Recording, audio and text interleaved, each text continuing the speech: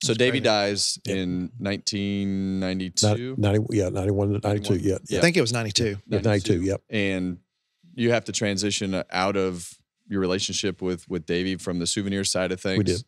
So how do, I mean, how do you wind up with Earnhardt? Well, you know, we all hunted during that period. You know, Davey, Richard, and Dale, and myself, and we kept all those relationships going. And you know, we had a television show on the Nashville network TNN called Realtree Outdoors, and uh, so uh, you know, Dale and Richard both were a constant, you know, guest on those shows with me. And uh, but we enjoyed just being around each other. So it was really it was a real easy thing. And uh, you know, it even up uh, all the way through the '90s. Uh, I can't tell you how many times Dale was on Realtree Outdoors and was Richard, and uh, and that those relationships were just there. The friendship, just very similar where you and I have and Tyler have right now. So it was easy. How, how did how did the sponsorship start on the car with Dale?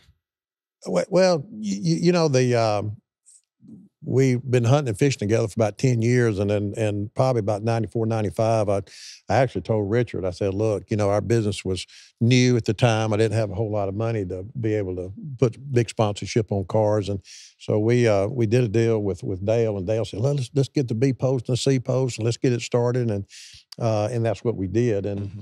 you know, the relationship with both of them, with Richard and Dale, was very good for our business. You know, back in the time, you know, being in the camouflage business, and so uh, it just went from there. And and obviously Dale's winning races, and uh, you know, back in the day with RCR, and uh, so it just it was a good thing for us. Do you remember the first time you met Dale, or what was the first memory you have of meeting So, Dale or being around him? Da- Dad's probably going to remember this, but uh, you know, a, a memory that I still have to this day. I was probably, I don't know, maybe six or seven years old, and uh, Dale actually took me in the garage, and we were gone for like two hours. And like he was, I think, worried sick. This was before cell phones. I didn't have a phone or anything. Dale didn't have a phone with him, and we went around, talked to different crew members. I'm sure I met some different Well, fir- drivers. first now, fir- first he wasn't supposed to be in the always garage. more to Yeah. the story. There's more Tyler. in the story.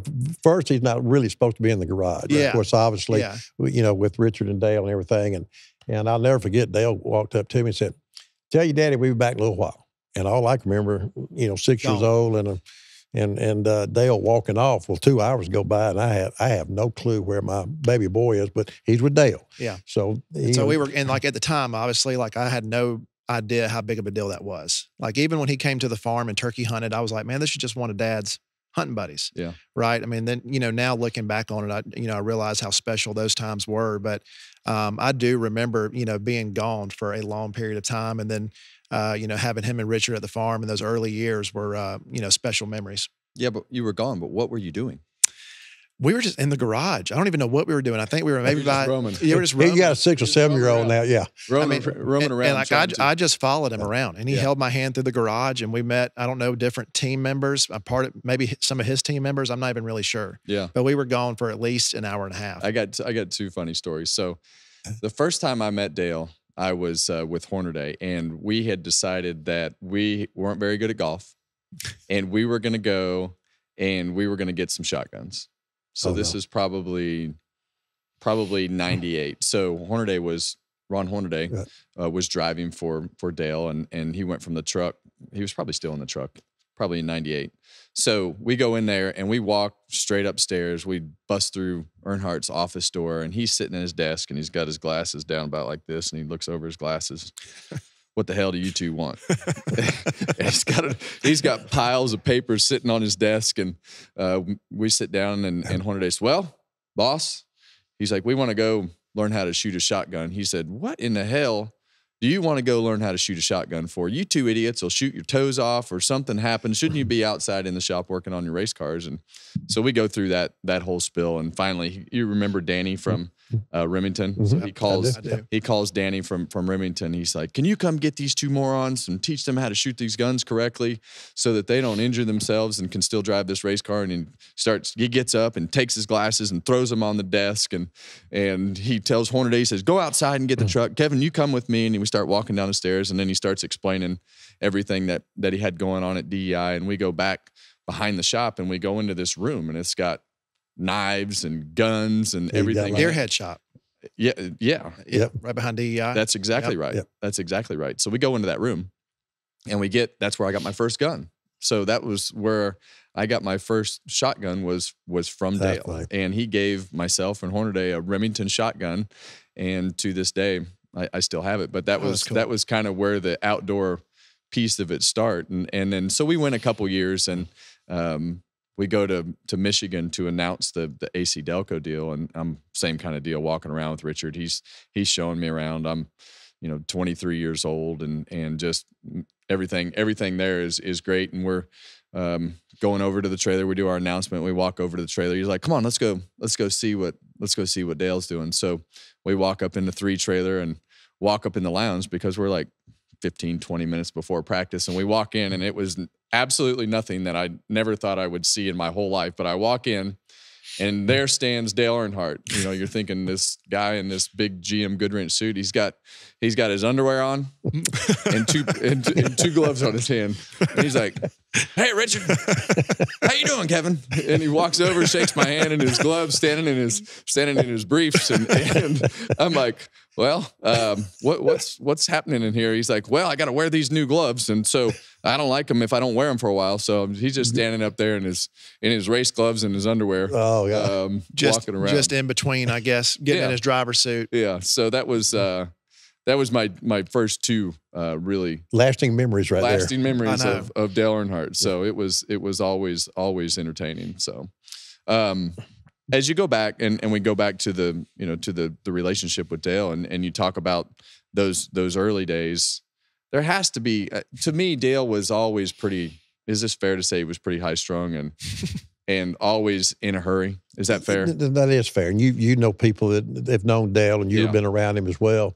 Uh, uh, Dale was uh, was always quick to give you advice. Yeah. You know, if you you know even friends and you you've heard stuff. I know with Dale Jr. and stuff, but he was quick to give you advice and about something, whether he was right or wrong. He was always right, and I say that in a complimentary way, Yeah. not a bad way. But uh, but he he was always thinking about something all the time. You're was he right. was he an anxious hunter, or was he a Not- pretty Not as much as calm? Childress. No, no, he had, he had a heap more patience. the most anxious hunter I've ever seen in my life was Richard Childress. Yeah, But uh, Dale was somewhat patient, and and you know he uh, he he wanted to get the big one, and he he loved competition. He didn't want you to outdo him, so he was very competitive, even in the woods and fishing or whatever he was doing. But uh, he he was a little he's a little anxious. Yep, did he like to get passed on dirt road in the snow?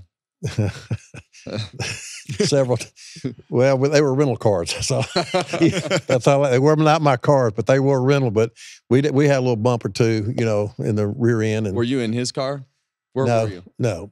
Uh, with the story you're probably trying to. Uh, we- Iowa? We, were in Iowa, yeah, Okay. and we were Iowa, and we were hunting with good friends Don and Candy Kiske at the Kiske place, and it was Dale and I and, and Ned Yost. At uh, Ned's a former third base coach of the Atlanta Braves and uh, also for the Kansas City Royals. They won the World Series, and Ned was a good friend of Dale's, and Ne- and Ned was a good friend of ours, and but we were in Iowa, and uh, but Dale loved the competition side, which we all know, whether it was on the track or off the track. But uh, he- gave us a little bump from the rear on the county road, and and David Blanton, you know, I know you know David that Oh, works for us. David uh, was driving, and we were behind on a county road. It is cold as could be. Snow's coming down, and we're going from one place on the farm where we were staying to where Don and Candy were, and we were going to sight in shotguns for for uh, you know slug gun season, and so we're following Dale on this county road. It is probably about 14, 15 degrees. And uh, David looks at me and says, I'm going to pass Dale. I said, no, no, no, no, no, don't, no, we don't need to be passing You were in the Dale. car with David. Yeah, I was in the car with David. So Ned and Dale are together. And so David gets a running start on that county road. It's got snow drifts on both sides. And I said, no, uh, you, it's going to be payback if you if you pass him. And so Yeah. David just floored it. and so we we pull out. Dale's not does not see it coming. And I'll never forget, we get side by side on the county road. And I'll never forget, Dale was driving and he looked and saw what's passing him. And you could see it through his face. His foot went, you could, you know, he went fast. And we pulled around him. I said, he's going to spin us out. I'm just telling you right now, he, he's going to spin us out. So we're on this county road. Thank goodness no other cars were on there. And sure enough, he gets up there and gives us a little tap, you know, on the back. Yeah. And I said, we got to go up here and make this turn, David. He's going to spin us out right here on this road. So he backed, Dale backed off a little bit. So we go down this road. And I said, we got to stop. There's this barn where we're going to sight in the guns, and I know it's coming. And so we get to the barn, and so sure enough, you know, two rental cars, boom, boom, and I just sit there. We, we're all stopped, and he uh, gets out, and the only comment he said, said, "Y'all don't pass me again." That's all he said. He said, "Y'all don't pass me again." And I, I and I went back and looked at the back end of our truck, the front end of his, and we had a little dent, and so we had to do turn it in on our insurance, you know, get it fixed before we, you know, when You we didn't returned claim across. ignorance on that one. You just No, it just you knew you were in trouble. I was in trouble. No, he, he- you knew it was going to happen. Yeah. and, and Dale played that way. Yeah. I mean, you know, he he uh, he was um, he liked competition. Didn't like anybody getting one up on him, but uh, we did uh, return two Reynolds with dents in them. Did you ever hunt with him, Tyler? I don't think so. I don't think I ever did. I mean, I think I was always in like when he came to Circle Inn in Alabama, you know, we had a lease over there and I remember, you know, Dave and Richard and Dale came and hunted, but I was always at camp. I don't think Yep. I was ever in the woods. I think I think I think Dale was probably worried I would have slowed everything everything Yeah. down. Hey, race fans, thanks for watching our video. For all NASCAR on Fox News, content, and the best clips from Fox Sports, be sure to follow and subscribe to our channel.